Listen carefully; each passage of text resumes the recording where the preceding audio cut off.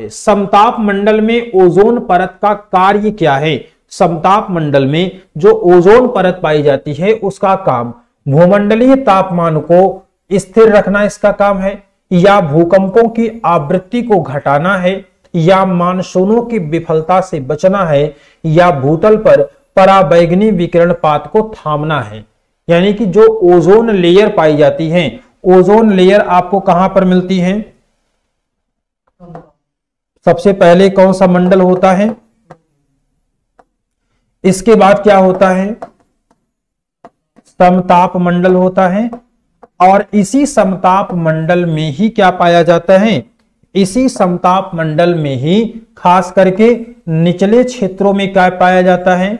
एक लेयर पाई जाती है और उस लेयर का नाम क्या होता है? ओजोन परत होती है है ना? इसी को कहते हैं ओजोन परत। और यहाँ से सन से जो भी यूवी रेज आती है, उसको ये क्या करता है? ये रोकने की कोशिश करता है, या तो एब्जॉर्ब करता है, या तो रिफ्लेक्ट करता है मोस्टली एब्जॉर्ब कर लेता है। और यहाँ से सवाल आपसे ये भी पूछा जाता है कि किस प्रकार की किरणों से हमारी प्रोटेक्शन होती है? तो अल्ट्रा वायलेट रेत से हमारी प्रोटेक्शन करती है, और अगर ये सीधे हमारी स्किन पर पड़ता है तो स्किन कैंसर जैसी बीमारियाँ भी होती हैं। ये भी सवाल पूछा जाता है कि यूवी रेस से किस प्रकार की समस्याएँ होती हैं। तो स्किन कैंसर जैसी समस्याएँ होती हैं।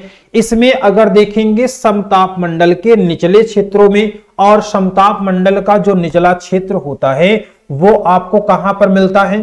तो सर्वाधिक सांद्रता इसकी जो पाई जाती है 22 टू 20 किलोमीटर तक पाई जाती है। और वैसे अगर इसके विस्तार की बात करेंगे मोटे तौर पर तो 15 किलोमीटर 15 किलोमीटर कहाँ पर होता है?